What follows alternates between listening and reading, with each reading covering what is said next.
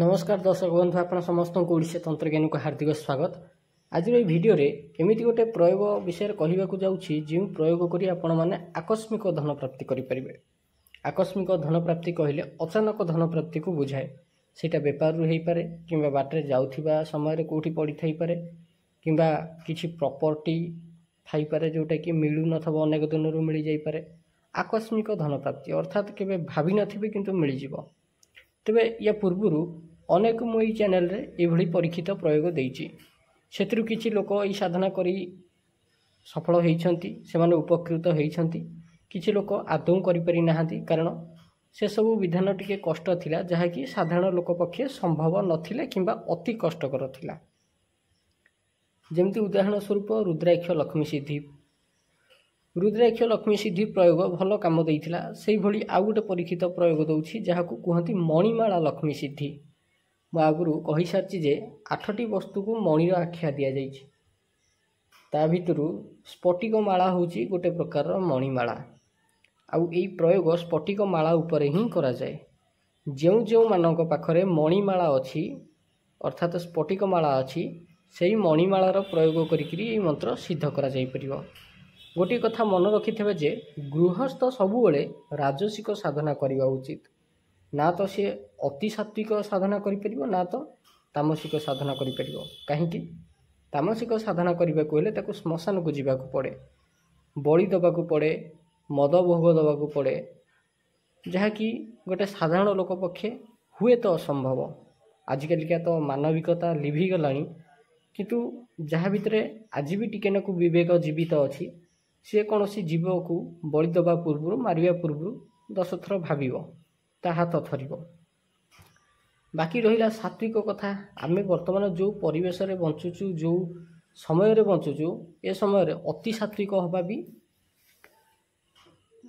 କଷ୍ଟକର। କାରଣ ପିଆଜ ରସୁଣ ଛାଡ଼ିବା କାହା ହାତରୁ ପାଣି ନ ପିଇବା କାହା ହାତରୁ ନ ଖାଇବା କିଏ କୌଣସି ଜିନିଷ ଦେଲେ ଆମେ ତାକୁ ଗ୍ରହଣ ନ କରିବା ଏସବୁ ପାଳନ କରିବା ନିହାତି ଦରକାର। ଆଉ ଏସବୁ ଜିନିଷ ପାଳନ କଲେ ଆଜିକା ସମୟରେ ଆମେ ଏ ସମାଜରେ ରହିପାରିବାନି।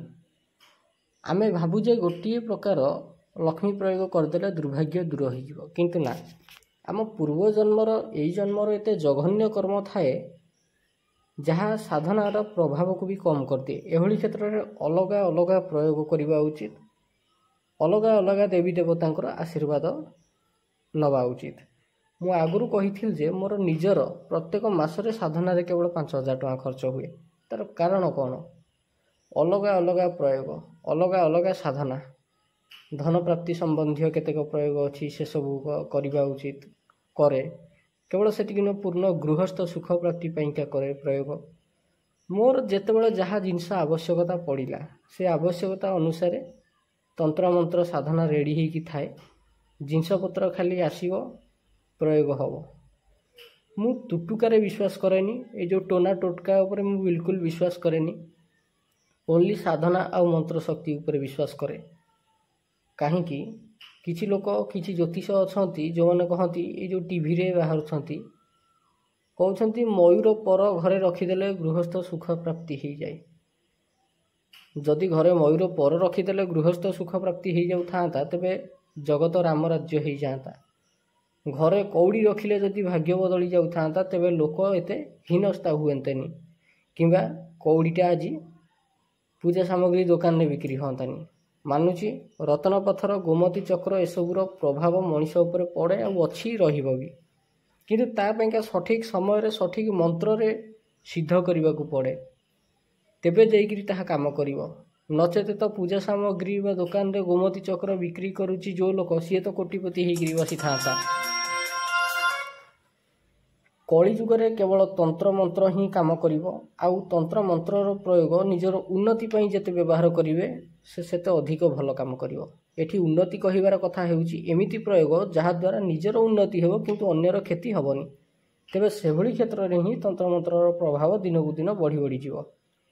ତେବେ ଏଇ ମଣିମାଳ ଲକ୍ଷ୍ମୀ ସିଦ୍ଧି ପାଇଁକା କ'ଣ କ'ଣ ଜିନିଷ ଆବଶ୍ୟକତା ପଡ଼େ ସାମଗ୍ରୀ ଆବଶ୍ୟକତା ପଡ଼େ? ସ୍ଫଟିକ ମାଳା କୁଙ୍କୁମ କେଶର ଅଳ୍ପ ଅରୁଆ ଚାଉଳ ଯେକୌଣସି ଫୁଲ କଞ୍ଚା କ୍ଷୀର ଗଙ୍ଗା ଜଳ ଧୂପ ଗୁଆ ଘିଅର ଦୀପ। ତେବେ କେମିତି କରିବେ ଏହି ସାଧନା? ଯେକୌଣସି ସୋମବାର ଦିନ ସକାଳୁ ଉଠି ସ୍ନାନ ସାରିକିରି ଧଳା ହଳଦିଆ ନଚେତ ଲାଲ ରଙ୍ଗର ଆସନ ହେଉ ପକେଇକିରି ପୂର୍ବ ଦିଗକୁ ମୁହଁ କରିକିରି ବସିବେ। ଏଥିରେ ଆପଣ ଯେକୌଣସି ରଙ୍ଗର ବସ୍ତ୍ର ପିନ୍ଧିପାରିବେ କିନ୍ତୁ ଗୋଟେ କଥା ଧ୍ୟାନ ଦେବେ। କଳା ରଙ୍ଗ କିମ୍ବା ନୀଳ ରଙ୍ଗର ବସ୍ତ୍ର ପିନ୍ଧିବେ ନାହିଁ। ଲାଲ ହେଲେ ଚଳିବ ହଳଦିଆ ହେଲେ ଚଳିବ ଧଳା ହେଲେ ଚଳିବ। ସାମ୍ନାରେ ଗୋଟେ ପ୍ଲେଟ୍ ଉପରେ ସ୍ଫଟିକ ମାଳାଟିକୁ ରଖିକିରି ତା ଉପରେ କଞ୍ଚା କ୍ଷୀର ଢାଳିକିରି କଞ୍ଚା କ୍ଷୀରରେ ସେଇଟାକୁ ଧୋଇବେ। ତାପରେ ତା ଉପରେ ପୁଣି ଗଙ୍ଗା ଜଳ ଢାଳିକିରି ଗଙ୍ଗା ଜଳରେ ଧୋଇକିରି ଅନ୍ୟ ଗୋଟେ ପ୍ଲେଟ୍ ଉପରେ ସେ ମାଳାଟିକୁ ରଖିବେ। ଧୂପ ଦୀପ ଜଳେଇବେ। ମାଳା ଉପରେ କେଶର ଜାଣିଥିବେ ଯେଉଁଟାକି ଜାଫରାନ କେଶର କହନ୍ତି କାଶ୍ମୀରୀ କେଶର କହନ୍ତି କ୍ଷୀରିରେ ପଡ଼େ ବାହାଘର ଭୋଜି କ୍ଷୀରିରେ ପଡ଼େ। ଆଉ ସେଇ କେଶରଟିକୁ ଟିକେ ପାଣିରେ ପକାଇକିରି ତାକୁ ଗୋଳେଇ ଦେଲେ ସିଏ ଲାଲ କଲର୍ ଆସିଯାଏ। ସେ ଯେଉଁ ଲାଲ କଲର୍ ପାଣିଟା ଲିକ୍ୱିଡ଼ଟା ହେଇଯିବ ତାକୁ ନେଇକିରି ମାଳା ଉପରେ ଲଗାଇବେ। ୟାକୁ କହନ୍ତି କେଶର ଟୀକା ମାଳା ଉପରେ କେଶର ଟୀକା ଲଗାଇବେ। କୁଙ୍କୁମରେ ସେମିତି ଅଳ୍ପ ଟିକେ ନାକୁ ପାଣି ପକାଇକିରି ସିନ୍ଦୁର ଭଳିଆ ଗୋଳେଇ ଦେଇକିରି କୁଙ୍କୁମ ଟୀକା ସେ ମଣିମାଳା ଉପରେ ଲଗାଇବେ। ଯେକୌଣସି ଗୋଟେ ଫୁଲ ହେଉ କି ଚାରି ପାଞ୍ଚଟା ଫୁଲ ହେଉ ଆପଣ ସେ ମଣିମାଳା ଉପରେ ରଖିବେ। ତାପରେ ସ୍ଫଟିକ ମାଳାଟିକୁ ବା ମଣିମାଳାଟିକୁ ଧୂପ ଦୀପ ଦେଖାଇବେ। ଏଥିରେ ଭୋଗ ଆପଣ ଚାହିଁଲେ ଲଗାଇ ପାରନ୍ତି ଅବା ନ ଲଗାଇ ପାରନ୍ତି। ଏଇଟା ଆପଣଙ୍କର ଇଚ୍ଛା। ଭୋଗ ଏଥିରେ ଅପସନାଲ୍ ତାପରେ ମାଳାଟିକୁ ଉଠେଇ ଜପମୁଣି ଭିତରେ ରଖି କୋଡ଼ିଏ ମାଳା ମନ୍ତ୍ର ଜପ କରିବେ। ଗୋଟିଏ ମାଳାର ଅର୍ଥ ହେଉଛି ଶହେ ଆଠ ଥର ଶହେ ଆଠ ଇଣ୍ଟୁ କୋଡ଼ିଏ। କୋଡ଼ିଏ ମାଳା ମନ୍ତ୍ର ଜପ କରିବେ। ମନ୍ତ୍ରଟିକୁ ମୁଁ ଡେସ୍କ୍ରିପସନ୍ରେ ଦେଇଦେବି। କିନ୍ତୁ ଧ୍ୟାନ ଦେବେ এই ପୂଜା ଆରମ୍ଭ କରିବା ପୂର୍ବରୁ ପ୍ରଥମେ ଗୁରୁ ସ୍ମରଣ ଗଣପତି ସ୍ମରଣ କରିନେବେ। ମାନସିକ ରୂପରେ ତାଙ୍କଠାରୁ ଆଜ୍ଞା ଆଶୀର୍ବାଦ ନେଇଯିବେ। ଆଜ୍ଞା ଆଶୀର୍ବାଦ ନେବା ପରେ ପୂଜା ଆରମ୍ଭ କରିବେ। ମନ୍ତ୍ର ଜପ କୋଡ଼ିଏ ମାଳା କରିସାରିବା ପରେ ମାଳାଟିକୁ ମୁଣି ଭିତରେ ରଖିଦେବେ। ମୁଣିରୁ ବାହାର କରିବେ ନାହିଁ। ତା ପରଦିନ ପୁଣି ସେହି ସମୟରେ ସକାଳୁ ସକାଳୁ ସେ ମୁଣିରୁ ମାଳାଟିକୁ ବାହାର କରିକିରି କଞ୍ଚା କ୍ଷୀରରେ ଧୋଇକିରି ପାଣିରେ ଧୋଇକିରି ସମାନ ବିଧିରେ ପୁଣି ପୂଜା କରିବେ। କେଶର ଟୀକା ଲଗାଇବେ କୁଙ୍କୁମ ଟୀକା ଲଗାଇବେ ଧୂପ ଦୀପ ଦେଖାଇବେ ପ୍ଲେଟ୍ ଉପରେ ରଖିକିରି ପୁଣି ତାକୁ ଆଣିକିରି ମୁଣି ଭିତରେ ରଖିକିରି କୋଡ଼ିଏ ମାଳା ମନ୍ତ୍ର ଜପ କରିବେ। ଏମିତି ସାଧନା ପାଞ୍ଚ ଦିନ ପର୍ଯ୍ୟନ୍ତ ଚାଲିବ। ପ୍ରତ୍ୟେକ ଦିନ ମାଳାଟା ଧୁଆ ହେବ ଆଉ ପୂଜା ହେବ। ପୂଜା ହେଇକିରି ପାଞ୍ଚ ଦିନ ପର୍ଯ୍ୟନ୍ତ ମନ୍ତ୍ର ଜପ ହେବ। ପ୍ରତ୍ୟେକ ଦିନ କୋଡ଼ିଏ ମାଳା ହେଲେ ପାଞ୍ଚ ଦିନରେ ହେବ ଶହେ ମାଳା। ଏହି ମନ୍ତ୍ରଟି ଦଶ ହଜାର ମନ୍ତ୍ର ଜପରେ ସିଦ୍ଧ ହୁଏ। ପାଞ୍ଚ ଦିନରେ ହିଁ ମାଳା ଓ ମନ୍ତ୍ର ଉଭୟ ସିଦ୍ଧ ହୋଇଯିବ। ତାପରେ ଏହି ସ୍ଫଟିକ ମାଳାଟିକୁ ସାଧକ ନିଜେ ନିଜ ଗଳାରେ ପିନ୍ଧିଦେବେ। ମନ୍ତ୍ରଟିକୁ ମୁଁ ଡେସ୍କ୍ରିପସନ୍ରେ ଦେଇଦେବି କାରଣ ମୁଁ ଏହି ମନ୍ତ୍ରକୁ ଆପଣଙ୍କୁ ଉଚ୍ଚାରଣ କରିକିରି କହିପାରିବିନି। ଏଥିରେ ଗୋଟେ କଥା ଧ୍ୟାନ ରଖିବେ ଯେ ମାଳାଟି ପ୍ରାଣ ପ୍ରତିଷ୍ଠିତ ହେଇଥିବା ଦରକାର। ସ୍ଫଟିକ ମାଳା ଯେଉଁଟା ଆପଣ ବ୍ୟବହାର କରିବେ ସେଇଟା ପ୍ରାଣ ପ୍ରତିଷ୍ଠିତ ହେଇଥିବା ଦରକାର। ଯେକୌଣସି ବିଧିରେ ପ୍ରାଣ ପ୍ରତିଷ୍ଠିତ ହେଲେ ବି ଚଳିବ କିଛି ଅସୁବିଧା ନାହିଁ। ଏହି ସାଧନା କରିବା ଦ୍ୱାରା କ'ଣ କ'ଣ ଲାଭ ହୁଏ? ହଁ କିନ୍ତୁ ମାଳାଟା ଅରିଜିନାଲ୍ ହେଇଥିବା ଦରକାର। ଗୋଟେ କଥା ଧ୍ୟାନ ରଖିବେ ସ୍ଫଟିକ ମାଳା ଅରିଜିନାଲ୍ କେମିତି ଜାଣିବେ? ସ୍ଫଟିକ ମାଳାର ମାଳିକୁ ମାଳି ଧରିକି ଘଷିଲେ ସେଥିରେ ନିଆଁ ସ୍ପାର୍କ ହୁଏ ଲାଇଟ୍ ସ୍ପାର୍କ ହୁଏ। ଜାଣିବେ ସେଇଟା ହେଲା ଅରିଜିନାଲ୍ ସ୍ଫଟିକ ମାଳା ତାକୁ ହେମ ସ୍ଫଟିକ କହନ୍ତି। ସ୍ଫଟିକ ମାଳା ଯେଉଁଟା ମଣିମାଳା ଆମେ କହୁଛେ ତାକୁ ହେମ ସ୍ଫଟିକ କହନ୍ତି। ଆଉ ସେଇଟା ଏତେ ଥଣ୍ଡା ଯେ ଶରୀରର ସମ୍ପୂର୍ଣ୍ଣ ଉତ୍ତାପକୁ ଭିଡ଼ି ନିଏ।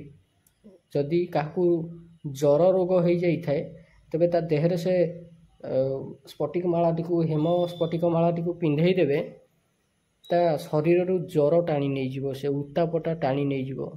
ଶରୀରର ଯେଉଁ ବଡ଼ିକୁ ମେଣ୍ଟେନ୍ କରିଦେବ ଏତେ ଶକ୍ତି ଅଛି। ତେବେ ଏହି ସାଧନା କରିବା ଦ୍ୱାରା କ'ଣ କ'ଣ ଲାଭ ମିଳେ? ଦାମ୍ପତ୍ୟ ଜୀବନ ସୁଖମୟ ହୁଏ ଉତ୍ତମ ଅଳଙ୍କାର ପ୍ରାପ୍ତ ହୁଏ ଗୁପ୍ତ ଧନ ଯାହା ଭୂମି ତଳେ ଥିବ ତାହା ପ୍ରାପ୍ତ ହୁଏ କିନ୍ତୁ ଗୋଟେ କଣ୍ଡିସନ୍ ଯଦି କୁଣ୍ଡଳୀରେ ଚନ୍ଦ୍ରମଙ୍ଗଳ ଏକାଠି ବସିଥାନ୍ତି ତେବେ। ଯେଉଁମାନେ ଧର୍ମପଥରୁ ବିଚ୍ୟୁତ ହୋଇଯାଇଛନ୍ତି ସେମାନେ ପୁଣି ଥରେ ଧର୍ମ ମାର୍ଗକୁ ଫେରିଆସିବେ ଏହି ପ୍ରୟୋଗ କରିବା ପରେ। ଆକସ୍ମିକ ଧନ ପ୍ରାପ୍ତି ତ ହୁଏ ଏଥିରେ ସନ୍ଦେହ ନାହିଁ ତା ସହ ବେପାରରେ ବି ଉନ୍ନତି ହୁଏ। ବାଣିଜ୍ୟ ହାନି ହେଉଥିଲେ ତାହା ଠିକ୍ ହୋଇଯାଏ। ବାରମ୍ବାର ଯଦି ଜ୍ୱର କିମ୍ବା ଶରୀର ଉତ୍ତାପ ବୃଦ୍ଧି ହେଉଥାଏ ତେବେ ସେ ରୋଗ ବି ଭଲ ହୋଇଯାଏ। ସରକାରୀ ସୁବିଧା ସୁଯୋଗ ଯଦି ମିଳୁନାହିଁ ତେବେ ମିଳିବାକୁ ଲାଗେ। ସରକାରଙ୍କ ତରଫରୁ କିଛି ପଇସା ଆସିବାର ଅଛି ଆସିପାରୁନି ତେବେ ସେଭଳି କ୍ଷେତ୍ରରେ ସାଧନା କରିବା ଦ୍ୱାରା ପଳେଇ ଆସେ ସେ ପଇସା। ଯଦି କୌଣସି ସ୍ଥାନରେ ପଇସା ଅଟକିକି ରହିଛି କିମ୍ବା କାହାକୁ ଦେଇ ଦେଇଛନ୍ତି ସେ ଫେରଉନି ସେଭଳି କ୍ଷେତ୍ରରେ ବି ସେ ଲୋକ ପଇସା ଫେରାଇ ଦିଏ ଅଟକିଥିବା ପଇସା ପୁଣି ପଳେଇ ଆସେ। ପିତୃ କଷ୍ଟ ମାତୃ କଷ୍ଟ ତଥା ପତ୍ନୀ କଷ୍ଟରୁ ମୁକ୍ତି ମିଳେ କାହିଁକି? କାରଣ ଏଇଟା ହେଉଛି ସ୍ଫଟିକ ମାଳ। ସ୍ଫଟିକ ଶୁକ୍ରଙ୍କର ପ୍ରତୀକ। ଶୁକ୍ର ପୂର୍ଣ୍ଣ ଗୃହସ୍ଥ ସୁଖ ଦେବାରେ ସମର୍ଥ ତାପରେ କାମ କାର୍ଯ୍ୟରେ ଆସୁଥିବା ବାଧାବିଘ୍ନ ଦୂରେଇଥାଏ କିଛି ଲୋକଙ୍କୁ ଦେଖିବେ ଆପଣ ତାଙ୍କ ଜୀବନରେ କାମ ସବୁବେଳେ ଅଟକିବ ସେ ଯେଉଁ କାମ କରିବାକୁ ଚାହିଁବେ ଭଲରେ ହେବନି ତାଙ୍କ ଜୀବନରେ କାମଟା ଭଲରେ କେବେ ହୁଏନି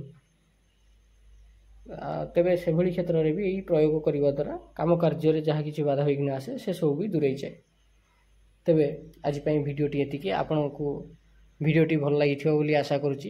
ମଣିମାଳା ଲକ୍ଷ୍ମୀ ସିଦ୍ଧି ହଣ୍ଡ୍ରେଡ଼ ପରସେଣ୍ଟ ପରୀକ୍ଷିତ ସାଧନା। ଆପଣ ଏଇ ସାଧନାଟିକୁ କରିପାରିବେ ମାତ୍ର ପାଞ୍ଚ ଦିନର ସାଧନା। ଯେ କେହି ହେଲେ ବି କରିପାରିବେ। ଏଥିରେ କୌଣସି ପ୍ରକାର ଜାତି ଧର୍ମ ବର୍ଣ୍ଣ କିଛି ଆବଶ୍ୟକତା ନାହିଁ। ୟାର ନିୟମ କ'ଣ? ଆଇଁଷ ମଦ ଏଇ ଦୁଇଟାକୁ ଛାଡ଼ିଦେଲେ ୟାର ଅନ୍ୟ କୌଣସି ନୀତି ନିୟମ ନାହିଁ। ଆପଣ ନାଦିକିରି ଦିନକୁ ତିନିଥର ବି ଖାଇପାରିବେ। କିଛି ଅସୁବିଧା ନାହିଁ। ପିଆଜ ରସୁଣ ଖାଇଲେ ଚଳିବ। ହଁ କିନ୍ତୁ ଗୋଟେ କଥା ନଖ ଆଉ ଚୁଟି ଏ ପାଞ୍ଚ ଦିନ ଭିତରେ କାଟିବେ ନାହିଁ। କିମ୍ବା କାହାରିକୁ ବାଧିଲା ଭଳି କଥା କହିବେ ନାହିଁ। କାରଣ ଅନ୍ୟକୁ ବାଧିଲା ଭଳି କଥା କହିଲେ ମଣିଷର ନିଜସ୍ୱ ପୁଣ୍ୟ ଯେଉଁ ଥାଏ ସେଇଟା କ୍ଷୟ ହୋଇଯାଏ। ଆଉ ଗୋଟେ କଥା ଛୋଟିଆ କାମଟା ଆପଣ କରିପାରିବେ। କୌଣସି ପଶୁପକ୍ଷୀଙ୍କି ଖାଦ୍ୟ ଖାଇବା ପାଇଁକା ଦେଇପାରିବେ ଏଇ ସମୟରେ। ଯାହାଦ୍ୱାରା କି ସାଧନାର ପ୍ରଭାବଟା ଆଉ ଟିକେ ତୀବ୍ର ହୋଇଯିବ।